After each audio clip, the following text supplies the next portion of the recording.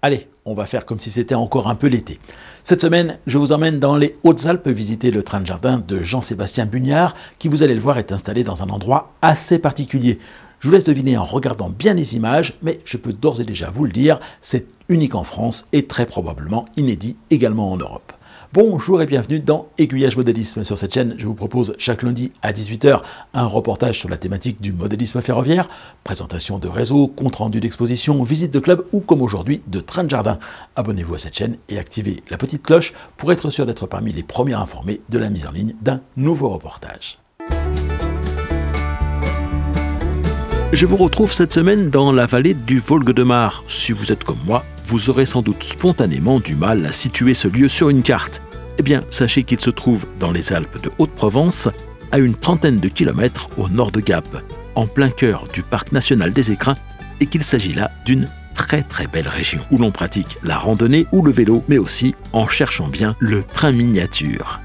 Profitant d'un tournant dans son parcours professionnel, Jean-Sébastien Bugnard s'est installé dans la vallée avec sa femme Alexandra il y a une bonne dizaine d'années et c'est ici qu'il a trouvé une opportunité de concilier sa passion du train et son activité professionnelle. Moi, j'étais amateur de train en Alpha 0, donc en HO, euh, quand j'étais jeune.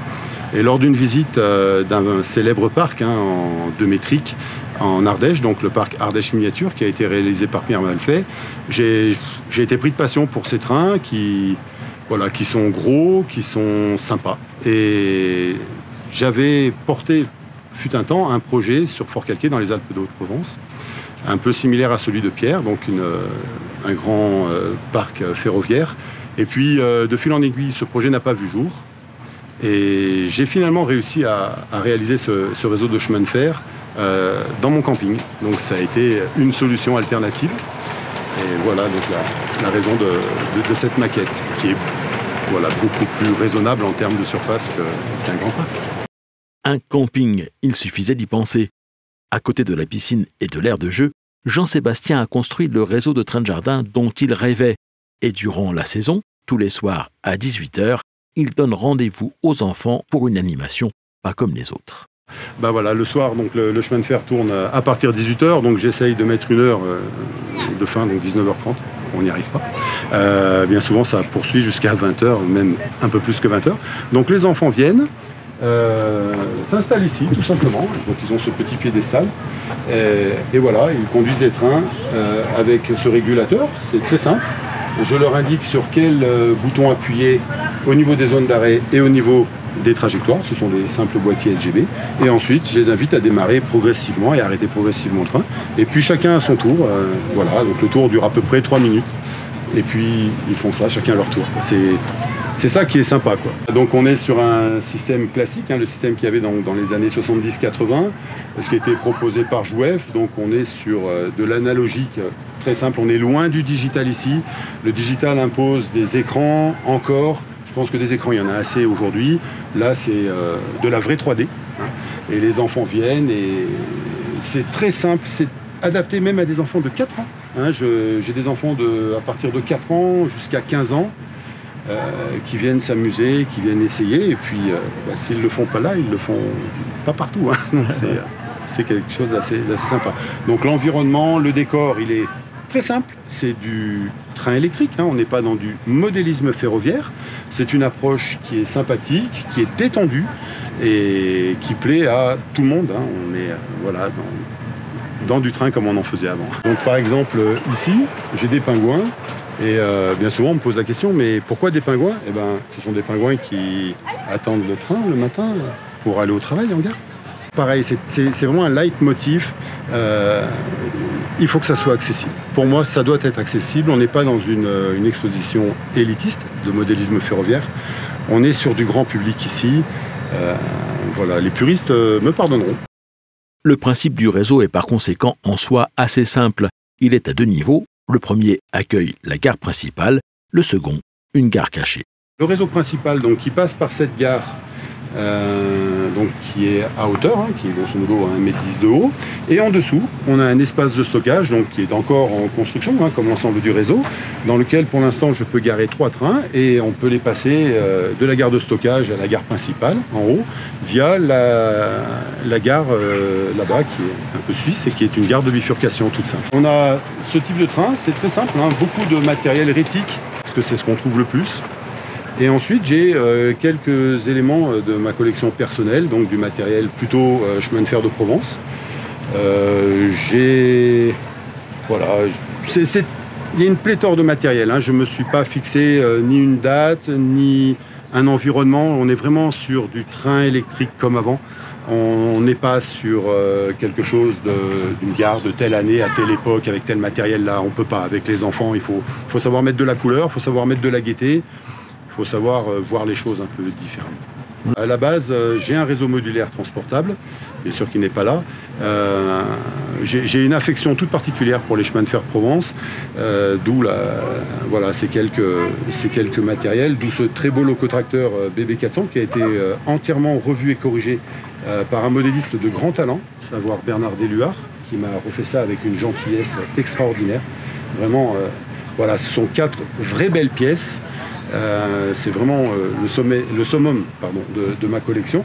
Ensuite, euh, eh ben pour le jeu, hein, on, met, on met un peu de couleur. voilà, on n'est pas, je ne suis pas que figé sur les chemins de fer de Provence, même si chez moi, personnellement, on, sera, plus, on sera plus là. Après, donc j'ai ce locotracteur Brissonneau et Lotz. Hein, de mémoire, il y en a deux au chemin de fer Provence. Je ne pense pas dire de bêtises. Et puis on a ces euh, deux Rames Y. Alors ce sont des modèles qui ont été faits euh, à l'unité hein, par, euh, par un modéliste, par deux modélistes de, talent, qui avaient été faits pour une personne de, de, Nice. J'ai eu la chance de pouvoir acquérir ce matériel il y a déjà une vingtaine d'années. Voilà, et ça fait partie des pièces que j'affectionne tout particulièrement parce qu'elles sont uniques. Des pièces qui ne roulent pas sur ce réseau en temps ordinaire mais que Jean-Sébastien sort avec plaisir le plus souvent hors saison, ou lorsque des amateurs se trouvent à venir séjourner sur son camping. Elle cohabite parfois alors avec du matériel invité. Si les circulations sur le réseau se font en principe uniquement en fin de journée, il arrive que d'autres trains spéciaux s'engagent sur le circuit. Quelquefois, bon, euh, on ne voit pas maintenant, mais j'ai des lampadaires qui s'allument, j'ai les trois bâtiments principaux qui s'allument, qui s'éclairent. Euh, il m'arrive parfois, quand il fait bon, euh, le soir, vers 9h30, 10h, d'allumer, de faire tourner un train sans prévenir pour ne pas qu'il y ait de bruit, puisque l'idée ici c'est un camping quand même calme. Donc les gens voient qu'il y a un peu de lumière, qu'il y a un train qui tourne, ils viennent et on peut, pas, on peut rester une demi-heure, trois quarts d'heure, voire une heure à blaguer autour d'un train qui circule la nuit. Ça, c'est la première euh, animation sympa. Et il y en a une autre qui, malheureusement, a été mise en, sommeil hein, du fait des conditions sanitaires actuelles, hein, du Covid. C'est le train des doudous. Alors là, c'est un, must. C'est un ami en, Suisse, euh, Marc Walter, qui est connu dans le, milieu euh, du train de jardin, qui a un jour pendant ses vacances ici, créé un train. Il a mis quelques doudous dedans et il a appelé ça le train des doudous. Et les enfants étaient invités à amener leurs petits doudous au gabarit à les mettre dans le train pour qu'ils circulent. Et puis c'est resté. Et parfois, un train des doudous, ça, fait des trains qui font 4-5 mètres de long, remplis de doudous, c'est très amusant. Et on les fait tourner et voilà. Bon, malheureusement, en raison du Covid, les doudous, euh, voilà, on passera sur les détails et c'est pas forcément euh, l'idéal. Le train des doudous, c'est évidemment pour les plus petits, qui viennent avec leurs parents. Les enfants, un peu plus grands quant à eux, gèrent un peu plus par eux-mêmes le temps qu'ils veulent consacrer à l'activité train. C'est très variable. Je vais avoir des enfants qui viennent le premier soir, qui vont rester 5 minutes, et de tout leur séjour, je ne les verrai plus. Bon, ça les a amusés 10 minutes, pas plus. On est quand même à une époque où bah, beaucoup de téléphones portables, beaucoup de jeux vidéo. Bon, bah ça. Ouais, papy en a un, je l'entends souvent, mais ça s'arrête là. Et puis j'ai des enfants qui viennent le premier soir, le deuxième soir, le troisième soir, qui m'attendent tous les soirs à 6 heures et ils veulent faire un, deux, trois tours. Et puis j'ai des enfants qui restent, mais vraiment très, très, très attentifs, qui se prennent un peu au jeu et les, les approches sont toutes différentes. Curieusement, j'ai beaucoup de filles qui sont très sensibles et peut-être plus que de garçons. Les garçons, il faut que ça roule un peu vite. Non, on freine un peu. Mais les filles aiment bien les détails, elles en parlent, elles remarquent des choses. Euh, voilà, c'est Voilà, l'approche est différente entre les garçons et les filles, mais j'ai beaucoup de filles qui viennent tous les soirs. Hein, c'est pas exclusivement masculin. Puis j'ai des parents qui viennent aussi tous les soirs. Et j'ai plusieurs histoires, notamment il y a quelques années, une dame qui venait tous les soirs pendant une heure et demie, et je lui ai demandé vers la fin de son séjour, mais vous êtes passionné Elle me dit non, non, pas du tout. C'est zen et ça me détend. Et ça, ça me fait plaisir. Pour les passionnés, je prépare un complément à ce reportage que je mettrai en bonus sur le site d'Aiguillage. Jean-Sébastien y reviendra un peu plus en détail sur la manière dont il s'y est pris pour construire techniquement son réseau au cœur de son camping.